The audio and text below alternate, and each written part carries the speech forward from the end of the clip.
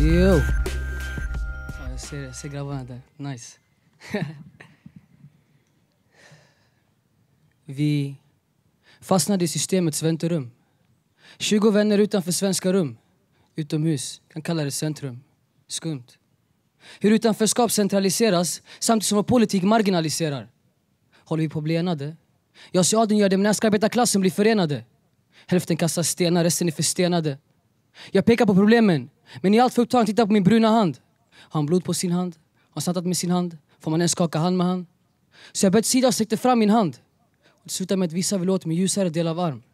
Så jag sträckte fram min andra arm, såg en snut komma fram, bad om hjälp med klumpen i min hals.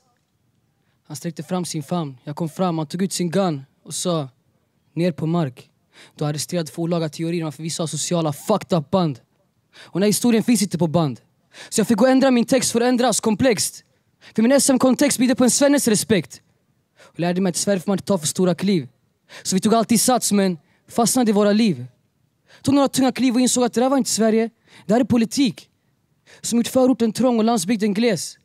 Fick aldrig mötas halvvägs. För våra politiker tog debatten, så allting blev skevt. Men jag vet att det är något gemensamt med en sverigedemokrat. För vi båda såg nedskärningar. Klart det bygger upp ett hat. Jo men vart? Mellan varann. För ni politiker klippte min och rassens band. Ni tog fritidsgårdar, vårdcentralen och öppnade upp en bank. Så nu är rassen och afrikanen pank. Och vi skyller fortfarande på varann. Vi delar dock en sak, och det är klassrum. Och jag snackar inte om skolan. Jag vill snacka bortom ideologier. Där ni strukturellt diskriminerande politiker sitter likt ett förbund och delar upp oss alla i ett fack.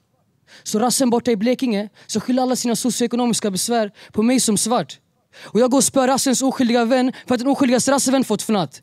Så förutom vår skatt bjuder vi även politiker på ett gott skratt. Men jag lovar min rassevän, om du bjuder på ett tungt samtal bjuder jag på Sveriges bästa kebab. Och efter en kvart kommer vi två inse att det gäller att sträcka ut handen först.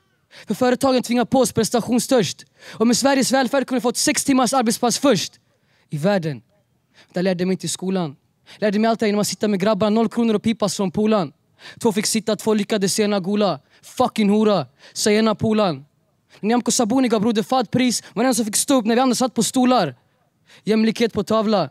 Svarta systrar med sjalar blir sina på jobb där de inte ens får ha sjalar. Och det är inte ens de som klagar. Det är stackars små barn som inte kan ha matsäck till utflykten, men barn är goda. De mättar varandras magar. Är det bara jag som väntar på bättre dagar? Nio månaders vinter, sen ska barnen gå på sommarlov. Men de får inte lov och vara fria. För ni stänger ner alla deras efterskoleaktiviteter och kastar konstgräs på trean. Mina bröder och mina bröders namn ska alltid stå på trean. Tack så mycket.